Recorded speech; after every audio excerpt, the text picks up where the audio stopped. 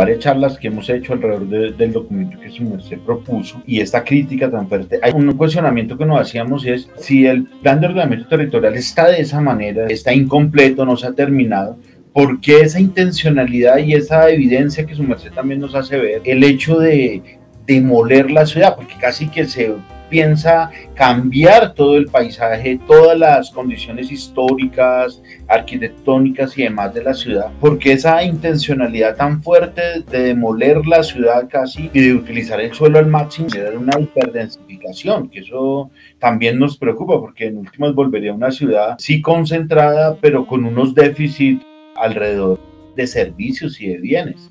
Pero pues es como una propuesta muy fuerte que casi cambiaría toda la lógica social y cultural que tiene la ciudad y también iría hacia otra intencionalidad económica y política que pues iría en contra de la propia historia de la ciudad. No sé si ahí estoy equivocado o es como la línea que se quiere tocar alrededor de esta idea. Ese tema es importantísimo porque es de esos casos en los que el POD dice una cosa en su presentación, pero cuando se aplica el artículo específico, se logra exactamente lo contrario de lo que el POD está planteando. O sea, por un lado hay una cantidad de objetivos y propósitos, todos loables, la ciudad más sostenible, la ciudad más equitativa, la ciudad más verde, entonces, pero cuando se aplica la norma, cuando uno se toma el trabajo de coger el artículo concreto y aplicarlo a casos específicos, uno dice, esto es completamente distinto a lo que se está planteando.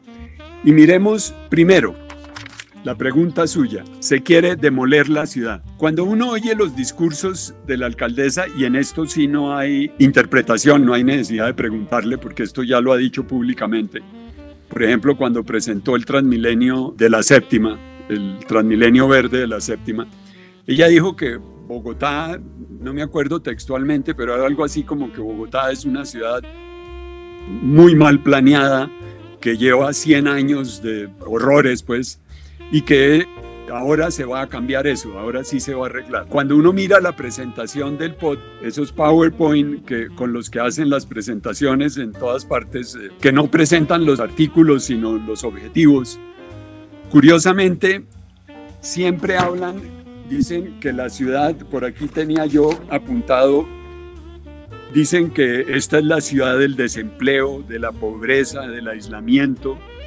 la ciudad del endurecimiento, del diésel, de la dependencia del bus, del reinado del automotor. Básicamente que esta es una ciudad horrible, espantosa. Y en esto sí es muy coherente el POT, porque dice, ante esa ciudad tan espantosa, pues lo mejor que podemos hacer es tumbarla y volverla a hacer. Y mire cómo se logra, porque es que la manera como se logra es muy interesante y tiene que ver con su primera pregunta. ¿Se acuerda que yo le comentaba que el negocio inmobiliario está en poder comprar con una norma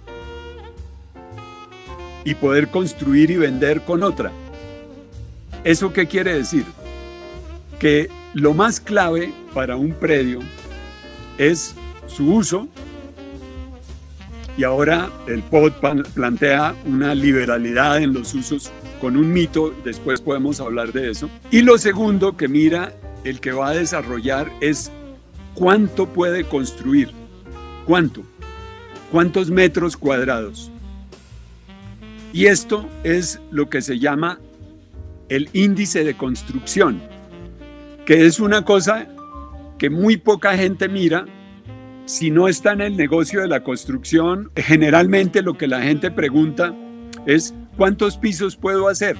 Y entonces le dicen, ah, ahí es solo dos pisos. Y dice, ah, bueno, entonces es un lote como para una casita.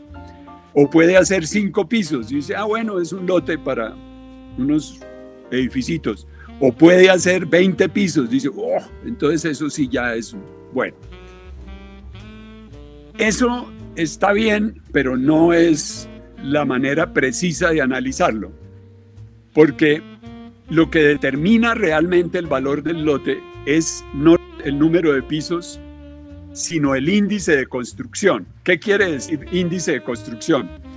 Que si un lote tiene mil metros y el índice de construcción es de uno, uno multiplica los mil metros por uno y eso le da que puede construir mil metros. Y si el índice de ocupación, que es el segundo índice que uno mira, que es importante, pero es más importante el de construcción y ahora miramos por qué.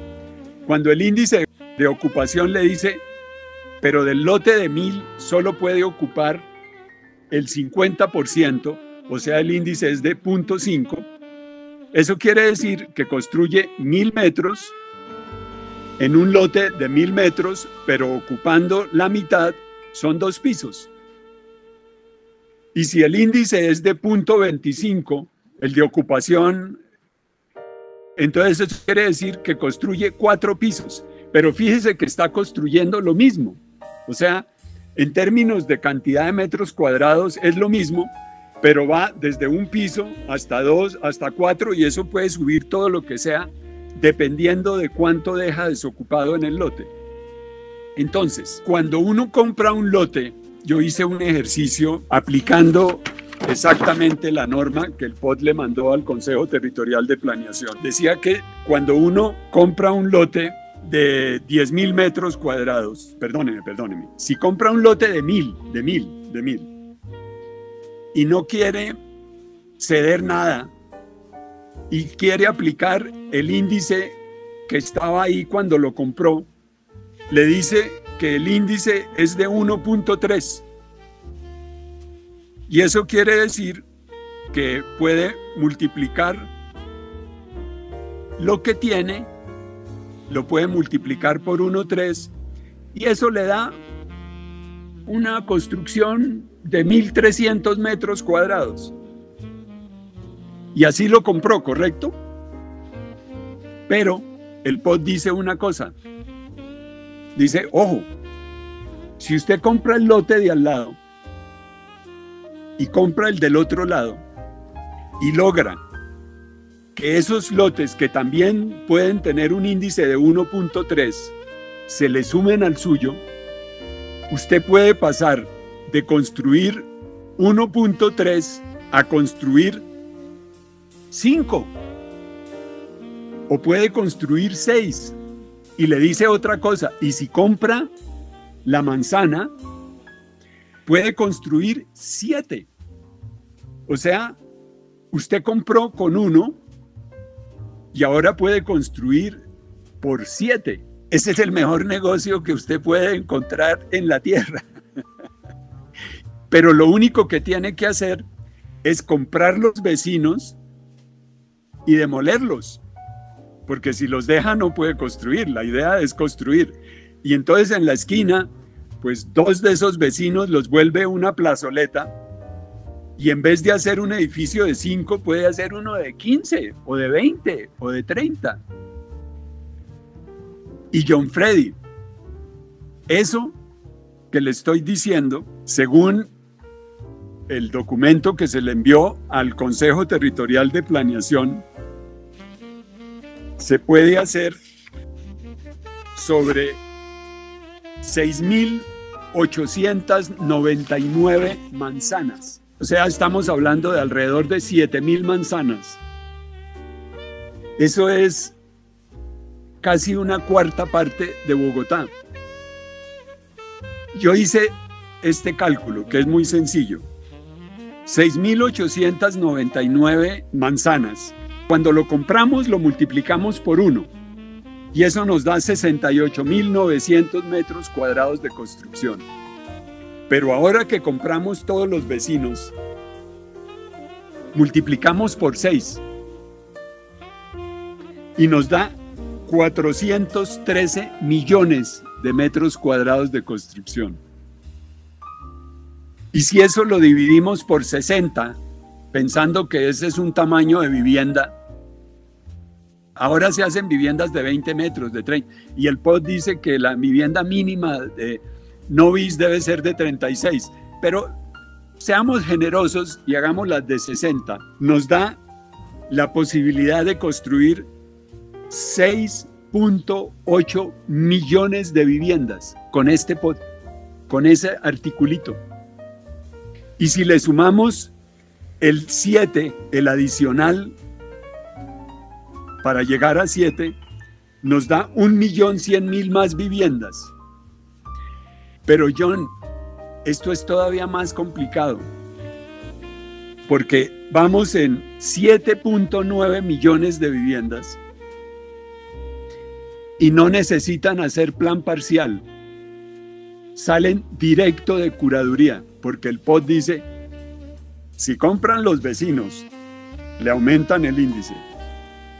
Y si no se pasan de 7, van directo. No necesitan impacto de tráfico, no necesitan consultar con los vecinos, no necesitan hacer ningún tipo de estudio especial, pero John Freddy, póngale cuidado, si hace plan parcial, quiere meterse a ese trámite, puede subir todavía más el índice, pasar de 7. Y siempre volvemos a sus preguntas iniciales. ¿A cuánto? No dice, se lo deja al funcionario. ¿A 8? ¿A 9? ¿A 10? ¿A 12? Eso que es, pero absolutamente crucial en términos del desarrollo de la ciudad, que es la diferencia entre un edificio de 5, de 15, de 30, de 40 pisos en su esquina, en la esquina frente a su casa, se lo dejan en el aire para que lo resuelva un funcionario y el POT no lo determina. Hombre, complicadísimo.